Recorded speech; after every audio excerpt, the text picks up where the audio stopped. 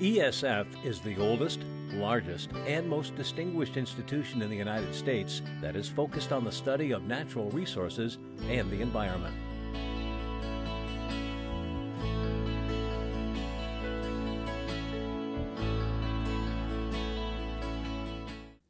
Hello and welcome to this edition of Improve Your World with SUNY ESF. I'm Dave White.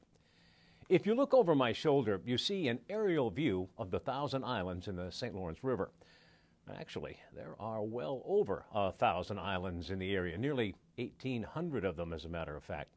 On one of them, Governor's Island, near the village of Clayton, is the ESF Thousand Islands Biological Station. The island has laboratories, residential facilities, classrooms, and a spectacular view. These families are on a boat being taken across the St. Lawrence River to Governor's Island, headquarters for the Thousand Islands Biological Station. Station director Dr. John Farrell and his team will teach the kids how to be fish scientists for the day. The kids will do a number of activities learning about the ecosystem, different wildlife habitats, and the creatures that live in and around the river. So today we have uh, the Thousand Islands Land Trust out here on a kids trek. So they do a series of uh, environmental education programs and today is uh, ichthyologist for a day so they're visiting the thousand islands biological station to, to learn about our programs and what it's like to be a fish ecologist Oh, left. Okay, you guys. We had a little introductory session up at the main lodge here at the thousand islands biological station where we ta- taught them a little bit about the st lawrence river and our research programs and now we're running them through a series of So yeah, use modules this net. And we sweep this through the through the sediments in the water, and then we take this sample and we sieve it through like a, a mesh sieve, and then we put it into our sorting tray. So it's very easy. The hard part is finding the organisms and identifying them. So the next thing, the next station is going to be you guys are going to try to identify these organisms. So this is called, this is our identification station over here. And you're going to be using a dichotomous key. Do you guys know what that is? Yeah. Can you It's, describe how it um, works? Well, it's it is two different. It's like something that makes it completely obvious. Like this, what this if it has such and such, it goes this way. It's leaning towards this. If it says such and such, it goes that Absolutely. way. Perfect. Yep. So we're going to use characteristics of these organisms to separate them down and by and do that by asking questions about and moving on to the next part of the, the key. And then eventually you get down to the final species that it is. The, the right identification. where one they're looking at lower trophic levels the, the bugs and the, the insects and zooplankton uh, some wetland organisms that uh, really serve as some of the important uh, parts of our aquatic ecosystem here and the kids are learning about that in our in our lab But we made a simple one for you, so it should be okay for you to get through today. And we have nine different organisms over here that we're going to see if you guys can identify them using our key.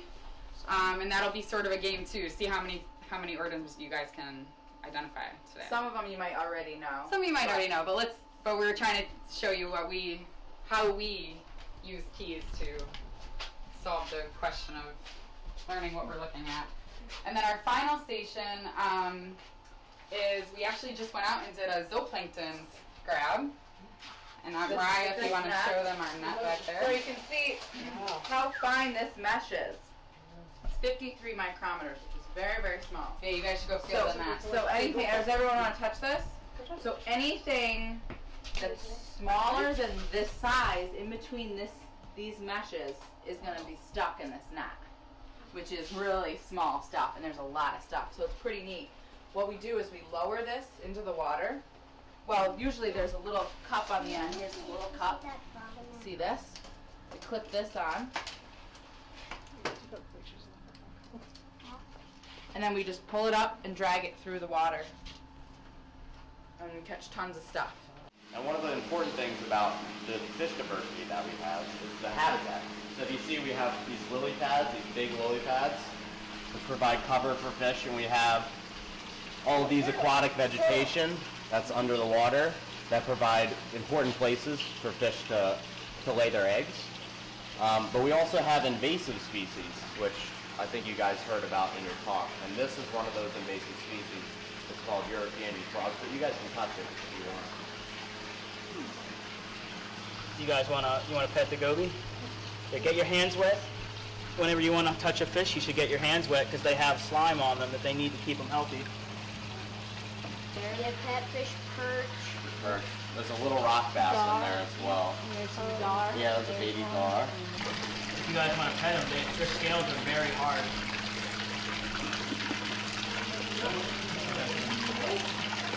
Oh yeah, you're right. Yeah. Uh, we also have uh, a fish display, some higher trophic levels over in our wet lab. So we have a, a variety of fish species that are from here in the St. Lawrence that they're, they're learning about their ecology, uh, different species, their distribution, what they do here in the river in that module. And, and out here we're doing uh, a fishing display. So kids are actually catching fish, they're collecting data on the fish they catch, and it's kind of a little contest that I think they're enjoying. Oh, Ben, you know what? You shouldn't add stuff up yet 'cause we still got fish. Let's see your fish. 14. Now you can let it go. you can throw it right back, huh? We feel strongly that when you uh, interact with children in the environment at a young age, they, they have a natural curiosity and an interest in what's going on in the environment in the natural world that you can just see. It's infectious, and uh, you know you never know that one of them might be one of our future students. I just see a lot of excitement in their eyes. We're already way behind schedule because uh, it's hard to pull them away from the different exhibits, and I think they're having a lot of fun. Uh, we, we really do uh, community-based uh, research. Uh, it's a graduate training site. Outreach is a small part of our mission, but we're we have three grant projects and we're looking at some serious issues. We help manage the uh, fishery along with the Department of Environmental Conservation and, and many other partners. So there's some really interesting research in Great Lakes aquatic ecology that, that go on at this site. At the close of a very exciting day, the youngsters and their families get aboard the boat and head back to the village of Clayton.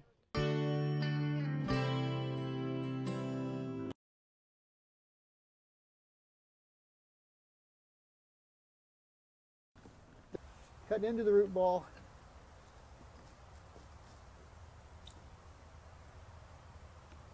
Am I killing these roots? You betcha. Is the plant going to grow more? You betcha. Second one is you got to dig a big enough hole. You always dig wide, not deep. Uh, it's much more important that you have at least at least twice the diameter of the uh, root ball that you're putting in the ground. You should have a hole at least twice. And sometimes in, in heavy clay soils, you want at least three times that diameter. You, you feel ridiculous when you dig this. You get a wide hole about the size of a bathtub. You put in this relatively small tree, but it really makes a big difference. The the topmost root should be right right at or even just slightly above the surface of the soil. You can either double or half the life of a tree on the day you plant it. So if you if you do everything right, um, most trees will grow for the best part of a century. Even fairly quote short-lived trees will grow for 50 or 60 years. The Kids Day on the island helps introduce us to the variety of projects going on at the biological station. We travel out on the river with a group of ESF students to take an up close look at their research work.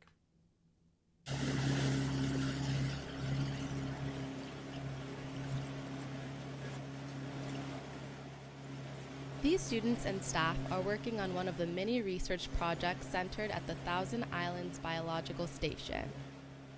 They're doing a fish survey. Once they reached the planned location, a small bay on the south shore of the St. Lawrence River, they donned their wetsuits and set up their equipment. I got it. I got it. Amy has full clipboards. Yeah. They got the scale and everything, I guess, that stays. That, that can stay. Uh, blue bin? No. Uh, are we going to process them here? Today we are assessing the fish community in the bays. We are um, trying to catch juvenile muskellunge, a species of our concern in the Thousand Islands Biological Station and the focus of a lot of our research. And we're trying to assess the forage fish community for the juvenile muskellunge. The, head shape. Sorry, what did you say, Sam? Two UA smallmouth bass and three UA Lepomis. Three blunt nose and a fathead. Yep. Three. Three fatheads. The muskellunge population has gone through a depression in the past couple years.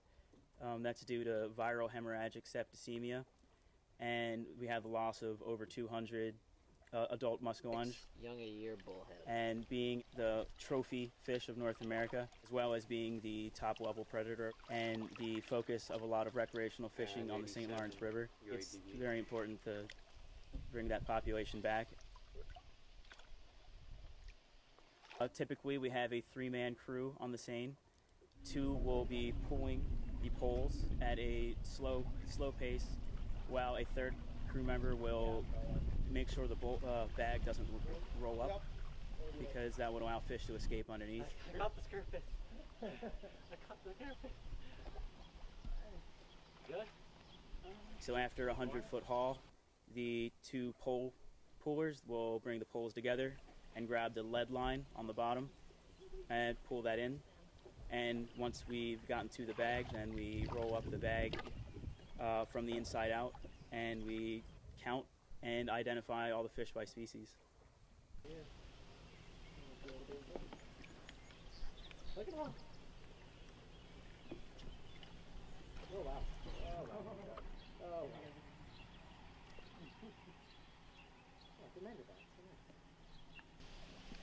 I have three black chin, four blunt nose, and two crayfish. You were gonna say something, Kirk, or no? Yeah, I have three blunt noses.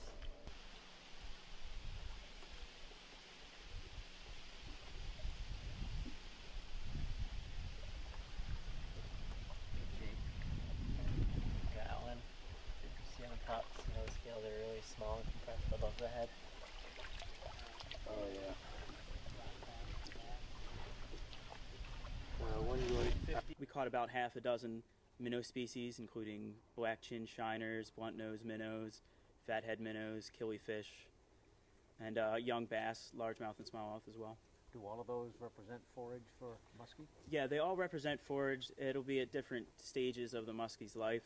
The, the minnows at the moment are about the same size as the muskellunge, but in, in a couple weeks, by early fall, then they'll be able to eat those as well. All right. What are we looking at here? Uh, this is a juvenile muskellunge.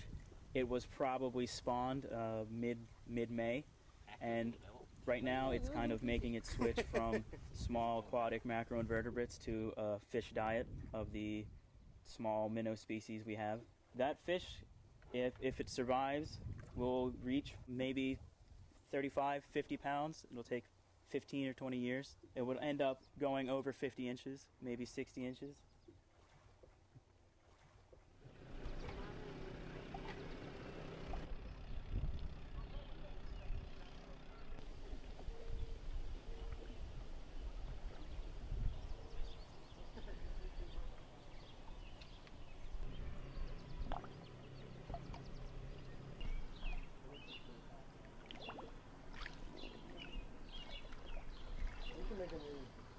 My name's Amy. I'm going into my senior year in aquatics and fisheries. I was assessing the habitat that we were seining through.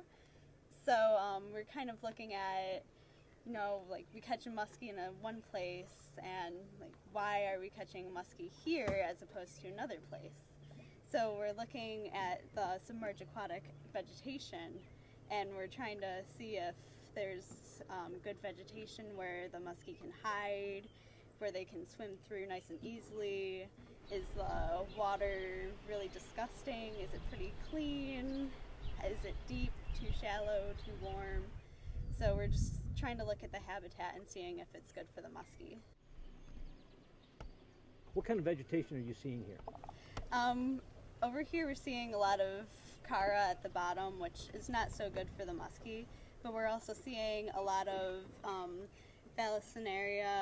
and uh, Pectinatus pusillus, which is really nice for the muskie because they can hide in it easily and it's um, really easy for them to move through it.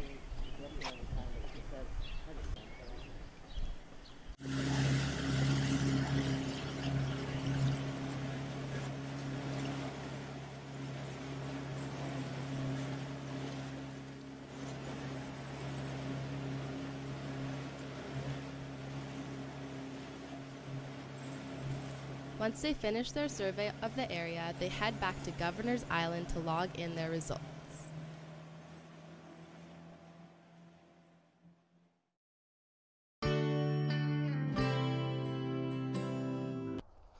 This is a traditional landfill cover.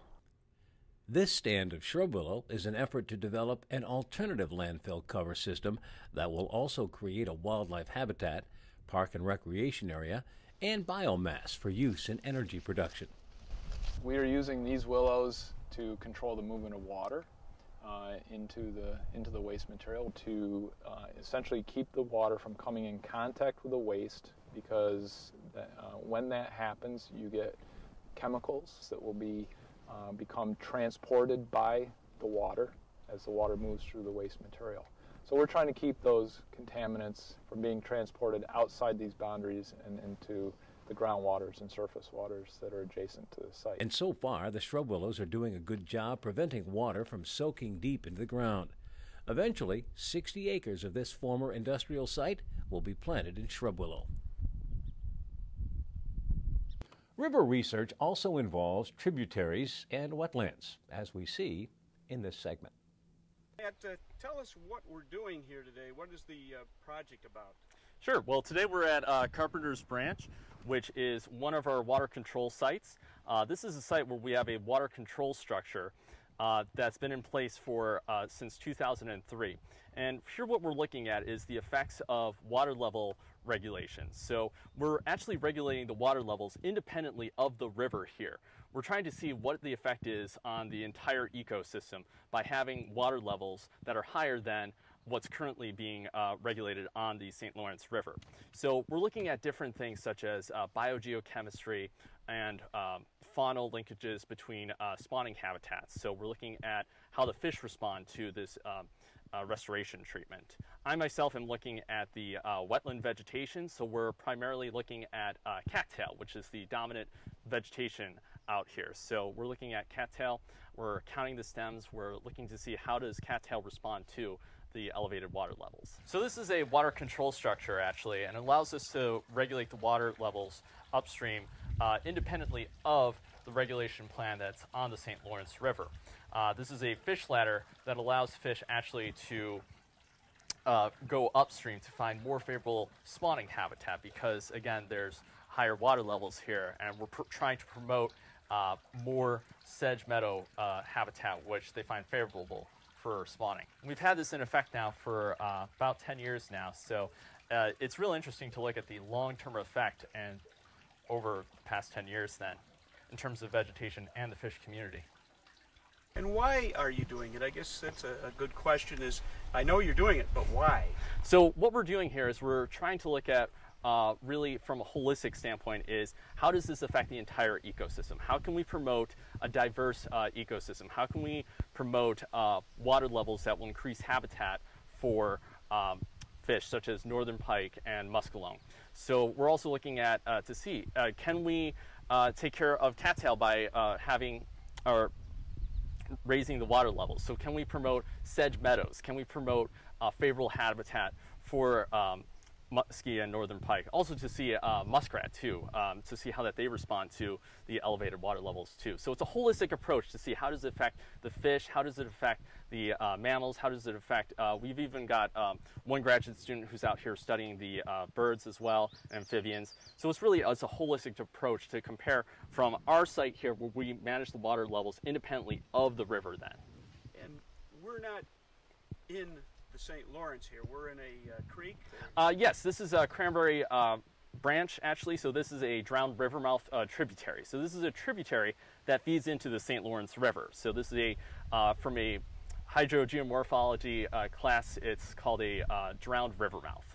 And mm -hmm. the reason you're doing it out here is to, to to see the ecological impact that the tributaries uh, impact the main river from vegetation and wildlife out here? Well, what we're looking at really is that everything that's uh, being controlled uh, upstream then is going to be independent of downstream then. So it's actually a really nice setup from an experimental design. So we can actually look at from a control perspective, and then you go further downstream then, and you can have a reference site. So you can basically look at right next to each other, right up on this bridge actually, you can even see just the effects of uh, the wa raised water levels from a treatment perspective, and right across the bridge from a control perspective, where there is no regulation, where we don't have a water control structure in effect then.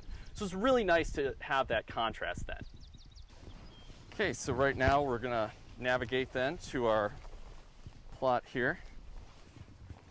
A lot of nice meadow marsh vegetations around here right now. Now what is it that you have here? This is just a quadrat, just a meter by a meter. This is what we use uh, for surveying vegetation.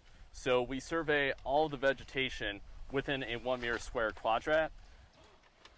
So it basically then just helps us to characterize the vegetation within uh, one meter square. So we can identify all the species, we can record their uh, species cover class, how much they take up within a one square meter plot. This is good because we can use this then for analyses. Um, we have lots of plots within the site and uh, we've been surveying these sites uh, for more than 10 years now. So we have a lot of vegetation data as well as data on um, biogeochemistry, water level fluctuations, um, including the fish habitat as well. So we have uh, 10 years worth of data for uh, the fish as well. Okay. This is a willow. Yeah, so we've got a willow too, so salix. Got both actually, from the looks of it. And uh, let's see here, Onoclea sensibilis, sensitive fern. We've got self-healed, this nice little flower down here. It's called Prunella vulgaris. So what's the stem? Uh, that vine, that's uh, Vicia cracca the vine that you're holding in your hand, this little guy right here, is Vicia cracca. It produces a nice little purple flower. Let's see, we've also got, let's see here, Cornus, Cornus amomum, which is another common shrub. And what else? We've got Calamagrostis canadensis.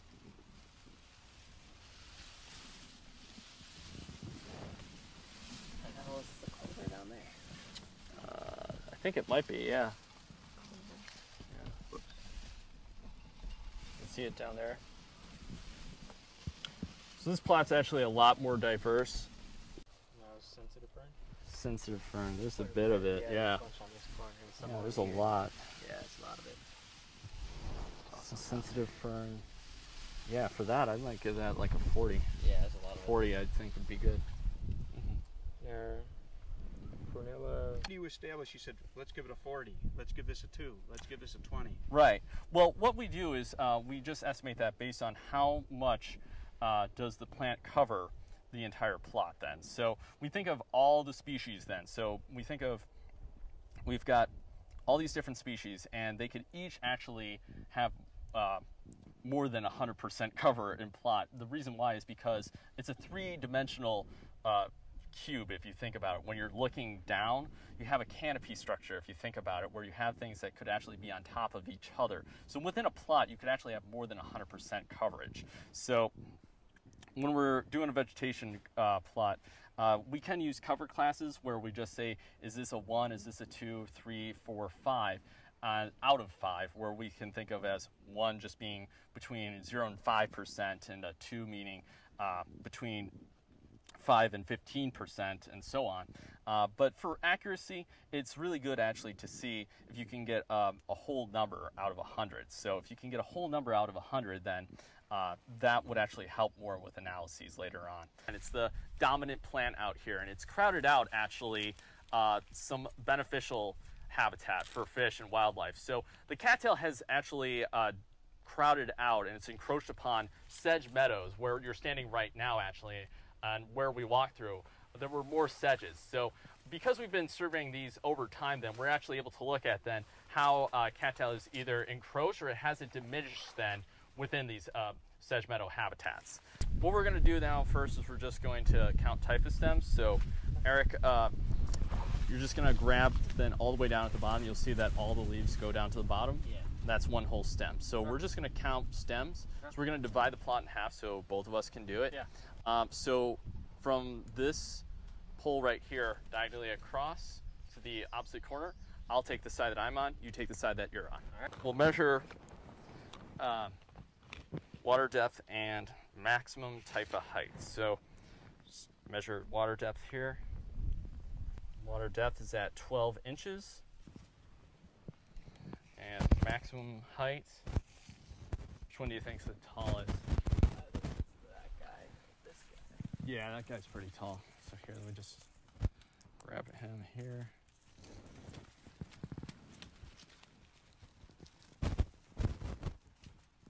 That's about 105 inches. That's uh, two different wetland vegetation plots. One obviously has a lot more cattail in it. One has more diversity, and uh, we see a lot of different plants out here. So it's really interesting to see how they differ along the elevation gradient, as well as a location rel relative to the water control structure site. The further that you go upstream, actually, the more diverse it is. Just want to break down the quadrat. There you go.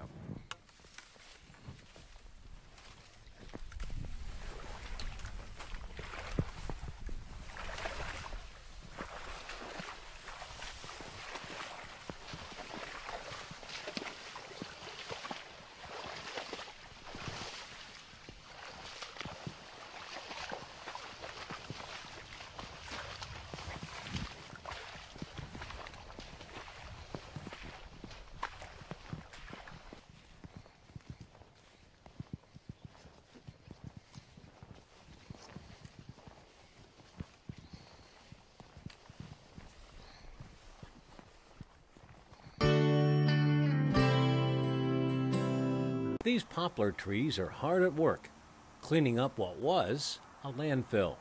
It's a process called phytoremediation.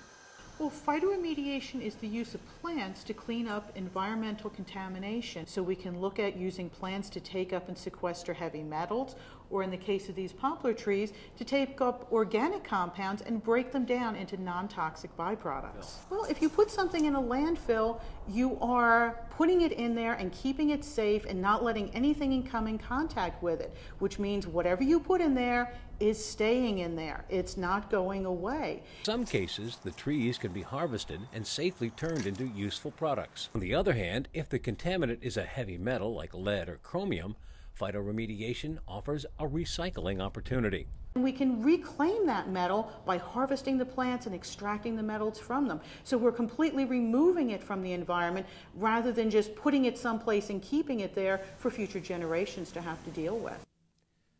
I love the closing shots with the sound of the students' boots sloshing through the water because for much of the segment it doesn't look like it's that wet out there. That's when you realize they really are in a wetland. Well, that's it for this edition of Improve Your World with SUNY ESF. Thanks for joining us, and we hope to see you again next time.